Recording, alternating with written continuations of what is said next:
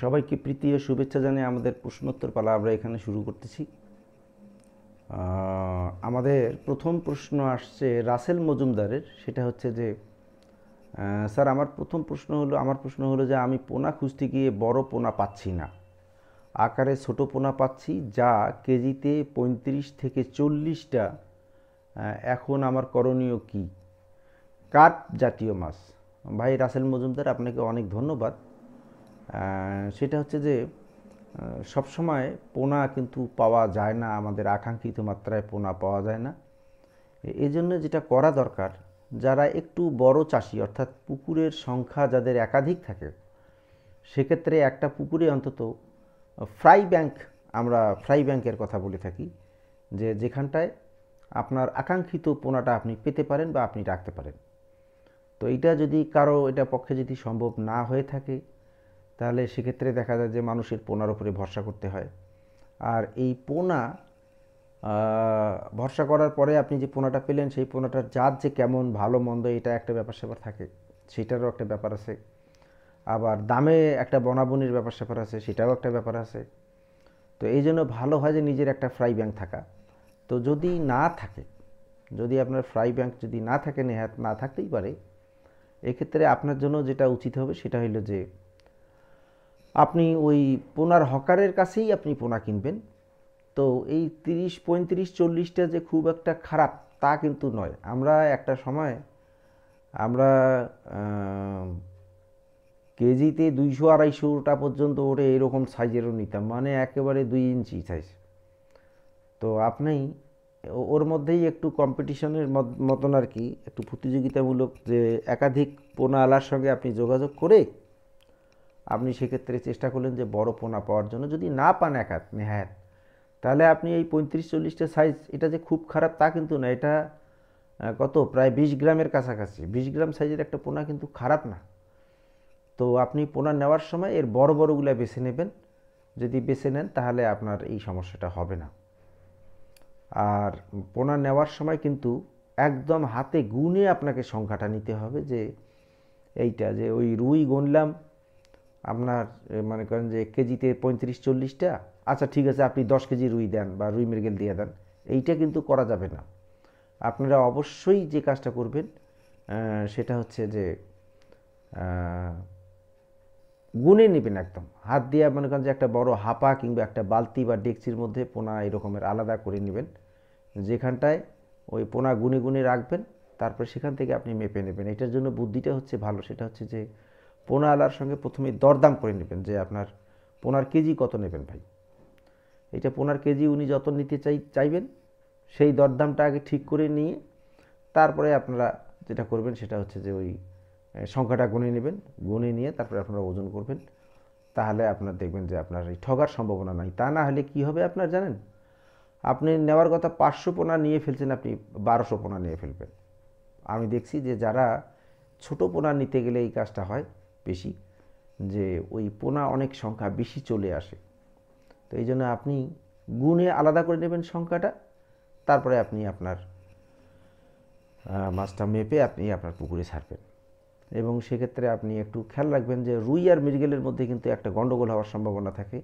পোনাওয়ালারা অনেক সময় অনেক সময় মানে কি, বেশিরভাগ সময়ই তারা করে কি মৃগেল পোনাটাকে রুইয়ের পোনা বলে চালায় দিতে চায়। তো এইটা যেন তারা করতে না পারে এই জিনিসটা আপনাদেরকে একটু খেয়াল রাখতে হবে। তো এই একটু বুদ্ধিমত্তার ব্যাপার স্যাপার সবখানেই রাখা দরকার আর কি। তা না হলে দেখা যাবে যে আপনার আমাদের ওই নিতে আমরা ঠকবো। তো আমি আজকে আপনাকে অনেক ধন্যবাদ রাসেল মজুমদার সাহেব।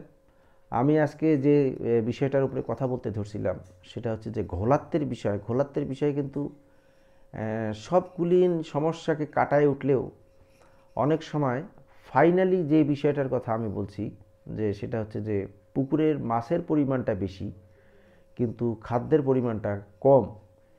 এই কারণে কিন্তু ঘোলা হয়। চাষিরা কিন্তু এইটা বুঝতে পারেন না, যে আমি চুন দিলাম এই করলাম, সে করলাম, সবই তো ঠিক করলাম, কিন্তু ঘোলাটা কেন বেশি? তো আপনাদেরকে জানায় রাখি, সেটা হচ্ছে যে মাছের সংখ্যা বা পরিমাণ যদি বেশি হয় আর খাবারের পরিমাণ যদি কম হয় যে কারণে আপনার মাছ তার প্রয়োজন না মিটার কারণে মাছ কিন্তু অনেক খোঁজাখুঁজি শুরু করে দেয় চারপাশে। এই খুঁজতে গিয়া মাছের ওই লেজের বাড়ি হোক আর এই খোঁজাখুঁজি করার কারণে কাদা উল্টায় উল্টায় সে খাবার খুঁজতে থাকে, যে কারণে আমাদের পুকুরের পানি ঘোলা হয়ে যায়। তো এখানটায় অবশ্যই যেটা করা দরকার সেটা হলো যে নমুনায়নের মাধ্যমে আমরা যদি মাছের মোট পরিমাণটা জানতে পারি এবং সেই পরিমাণে যদি খাদ্য দেই এবং খাদ্য যদি যথেষ্ট খাদ্য দেওয়া হয় তাহলে কিন্তু আহ, ঘোলাত্বটা আর তৈরি হয় না। বরং ওখানটায় দেখা যায় যে খাদ্য বেশি হওয়ার কারণে বা খাদ্য বেশি মানে বেশি ঠিক না খাদ্যটা মোটামুটি একটা প্রয়োজনীয় পরিমাণ হওয়ার কারণে এখানটায় মাছও যেমন আর ঘোলা করবে না, আর অন্যদিকে মানে যেহেতু আপনার খাবার যথেষ্ট গেছে, সেখানে মাছের যে মলমূত্র থেকে যে অ্যামোনিয়া জাতীয় জিনিসটা আছে সেইটা কারণে পানির একটা রং চলে আসবে, তখনও আর ঘোলাত্বটা থাকবে না। তো আপনাকে অনেক ধন্যবাদ ভাই। এর পরের প্রশ্নটা আসছে সূর্য ঘোষের প্রশ্ন। তিনি বলছেন যে, স্যার, শীতকালে শীতকালে জালে কি মাছ কম আসে? কীভাবে জাল দিলে এই সমস্যার সমাধান করা সম্ভব? আপনাকে ধন্যবাদ সূর্য ঘোষ।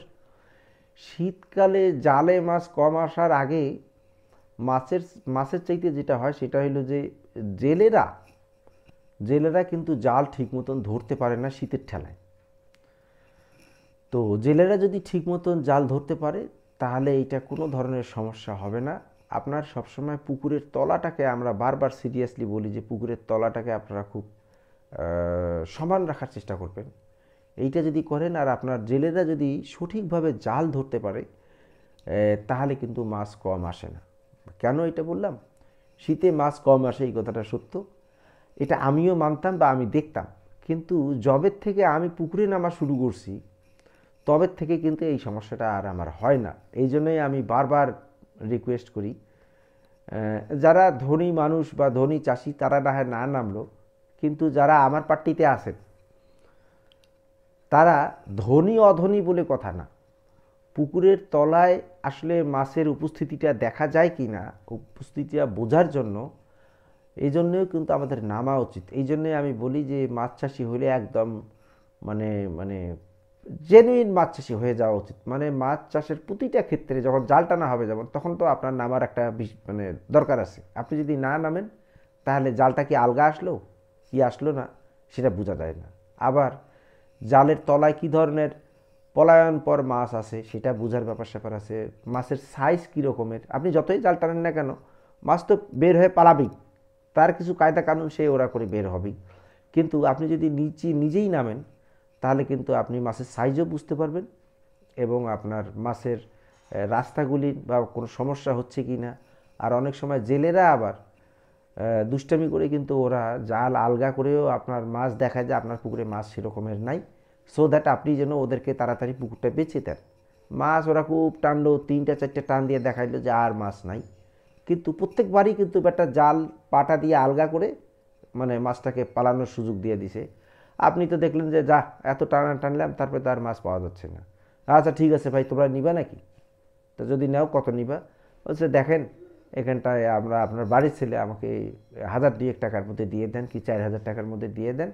হয়তো আমার দুই চারশো টাকা হয়, বেশি হবে না হয় কম হবে। মহাজন এটা আপনি করেন। আমরা গরিব মানুষ, এটা করি খাই।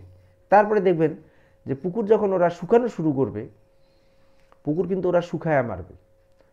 এই শুকায় মারার সময় পুকুরটা কিন্তু সাধারণত খেয়াল করবেন, দিনের বেলা কিন্তু পুকুরটা শুকানো হবে না। যতই জাল মেশিন লাগা এই করুক, সেই করুক, গড়ায় নিয়ে কিন্তু রাত্রের মধ্যে ফেলবে সো দ্যাট রাত্রে যখন মাছ মারবে, তখন কিন্তু আপনি বুঝতে পারবেন না যে আপনার এই পুকুরে মাছের পরিমাণটা কী রকমের ছিল। অতএব এইটা কোনো ব্যাপার না।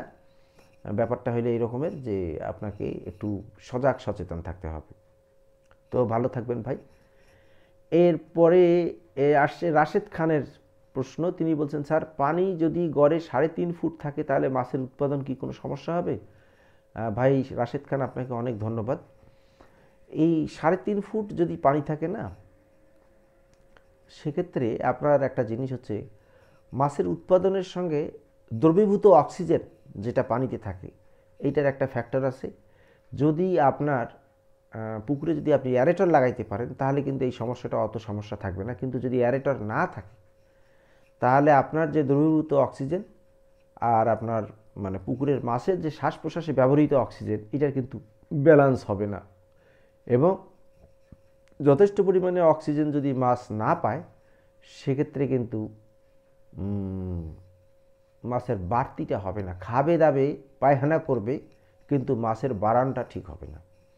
এই জন্যই আপনাকে করতে হবে যেটা, সেটা হচ্ছে যে পানিটাকে একটু বাড়াইতে হবে। পানি বাড়াইতে না পারলে সেক্ষেত্রে আপনাকে অ্যারেটর সেটের ব্যবস্থা করতে হবে। অ্যারেটর বলতে এইটা নয় যে আপনি দামি অ্যারেটর লাগান, এটা এমন কোনো না।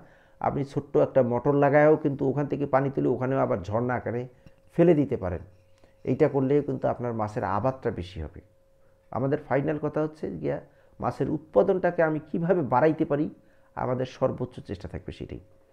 আপনাকে ধন্যবাদ ভাই রাশেদ খান। এরপরে চিঠি আসছে, জাহিদ মানিক সাহেবের। তিনি বলছেন যে কার্প মাছ চাষে মাছ যদি বাচ্চা দিয়ে দেয়, তাহলে করণীয় কি? বাড়তি পুকুর নেই। জাহিদ মানিক সাহেব, আপনাকে অনেক ধন্যবাদ।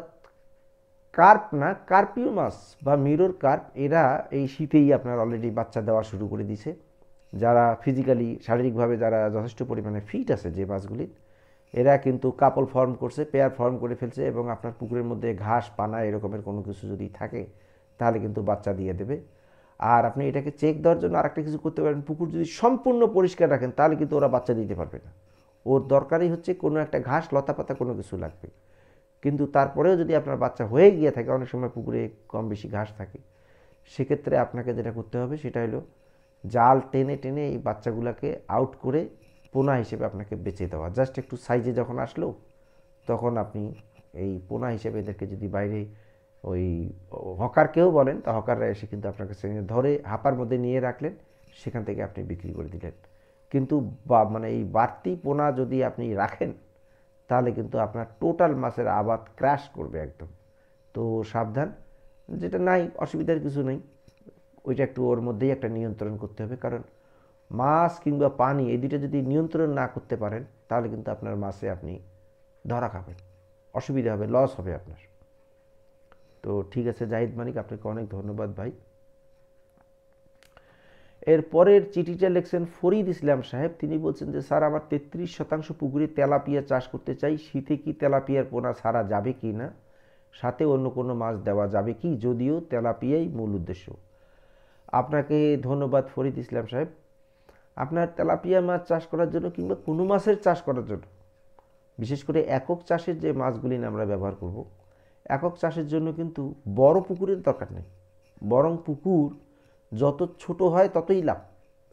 কারণ একক চাষ সেই সমস্ত মাছকে দিয়েই করা হয় যে মাছগুলিনের প্রতিকূল অবস্থা, পরিবেশগত অনেক ভার মানে চাপ থাকলেও যে সমস্ত মাছ আপনার এগুলি সহ্য করতে পারে, সেই সমস্ত মাছই কিন্তু একক চাষ করা যেতে পারে। আর এই পরিবেশের চাপ সহ্য করার মতন অন্যতম একটা মাছ হচ্ছে তেলাপিয়া। আর তেলাপিয়ার পুকুরে আমি অন্য কোনো মাছ দেওয়ার পক্ষে পক্ষে নই, এই কয়েকটা কারণ আছে। একটা কথা হলো যে তেলাপিয়ার সাথে কম্পিটিশনে অন্য মাছগুলো আসে না।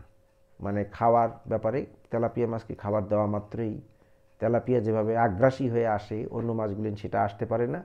আচ্ছা যদি আসেও বা, তেলাপিয়ার অভ্যাস হলো এই মাছের উপরে, খাবারের উপরে সে সেট হয়ে বসে থাকবে। দুই চারটা মাছ তান সবসময় দেখা যায়। এবং কার্প জাতীয় মাছগুলি ওর কাছাকাছি গেলেই ওরা ওদের নাভির কাছে একটা বল্লমের মতন থাকে। আপনারা এটা দেখছেন কিনা আমি জানি না। তেলাপিয়ার ঠিক নাভিটাতে একটা সাংঘাতিক বল্লমের মতন শক্ত কাটা থাকে। এইটা বাগায় দিয়ে সে ওই মাছকে আঘাত করার জন্য ছুটে যায়।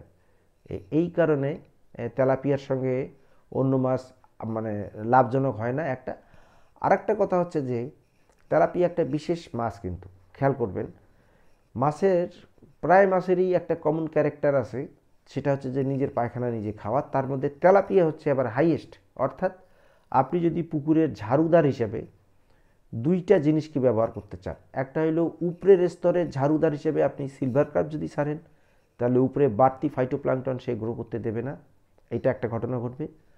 আর তলার যত সমস্ত ময়লা বা আবর্জনা বা জৈব পদার্থ এগুলিনকে যদি আপনি পরিষ্কার করতে চান, তাহলে আপনি তেলাপিয়া ছাড়বেন তো তেলাপিয়া যেহেতু আপনার নিজেই একজন ঝাড়ুদার, সে ওই উপরেরটাও খাবে, সেই ফাইটোপ্লাঙ্কটনের খাবারটাও খাবে ফাইটোপ্লাঙ্কটন যেটা বাড়তি হবে সেটাকেও খাবে। আবার তলায় যে তার পায়খানাগুলি পায়খানাগুলিও কিন্তু সে খাবে। তো যেহেতু নিজেই ঝাড়ুদার এবং সে মোটামুটি উপরেরও ঝাড়ুদার, নিচেরও ঝাড়ুদার সেই জন্য অন্য মাছ পালার কোনো জাস্টিফিকেশন নাই। বরং ওটা ডিস্টার্বই হয় এবং ওদের হীন স্বাস্থ্য দেখা যায় দেখা যাবে যে কিছু সমস্যা সৃষ্টি করতেছে। তো এই জন্য আমি তেলাপিয়ার সঙ্গে অন্য কোনো মাছের কথা আপনি শতকে আড়াইশোটার মতন ছাড়বেন, তাহলে খুব ভালো হবে। আর শীতে তেলাপিয়ার পোনাটা ছাড়বেন না, কারণ শীতে তেলাপিয়ার পোনা শীতে আপনি ছাড়তে পারেন, যেটা সেটা হলো যে পনেরো থেকে বিশ গ্রাম ওজনের তেলাপিয়া হইতে হবে সেটা। কিন্তু পনেরো থেকে বিশ গ্রাম ওজনের তেলাপিয়া নিতে গেলে আপনাকে তিন, চার, পাঁচ টাকা পর্যন্ত আপনার কাছে পার পোনা হয়তো নেবে। তো সেক্ষেত্রে ভালো হয়, শীতটা পার হয়ে গেলে আপনি যদি পোনা কেনেন তাহলে সবচেয়ে ভালো হয়। এবং ওইটা কিন্তু জেনুইন পোনা হবে। আর যদি আপনি প্রাকৃতিক বা বন্য পোনা আমি যেটা করি, সেটা আপনি যদি সারেন, তাহলে কোনো সমস্যা নেই। কিন্তু আপনার পুকুরে আগে পরিবেশটা সৃষ্টি করে নিয়ে তারপরে আপনাকে এইটা করতে হবে। পানির ঘন মানে গভীরতাটা আপনাকে প্রায় পাঁচ ফুটের কাছাকাছি নিতে হবে এবং দু একদিন পর পর পানি দেওয়ার ব্যবস্থা করতে হবে এবং ছোটো পোনা নেওয়া যাবে না। এরকমের অবস্থায় যদি আপনি ছাড়েন, তাহলে ছাড়তে পারেন। এখন পোনা ছাড়তে গিয়ে আপনার কস্ট কী রকমের পড়তেছে, এইটা একটা ব্যাপার। তেত্রিশ শতাংশ যদি হয়, তাহলে আপনি ধরেন সাত আট হাজারের মতন পোনা। এখন সাত আট হাজার টাকার পোনা যদি কিনতে গিয়ে আপনাকে প্রায় চার সাতা আঠাশ, পঁচিশ থেকে পঁয়ত্রিশ হাজার টাকা যদি লাগে, তাহলে এইখানে কিন্তু আপনি গোড়ায় একটা ধরা খাইলেন আর কি। আর যদি আপনি কোথাও নিজেদের মধ্যেই কিছু ম্যানেজ করতে পারেন, তাহলে তার কেসটা আলাদা। তো আপনাকে ধন্যবাদ ভাই।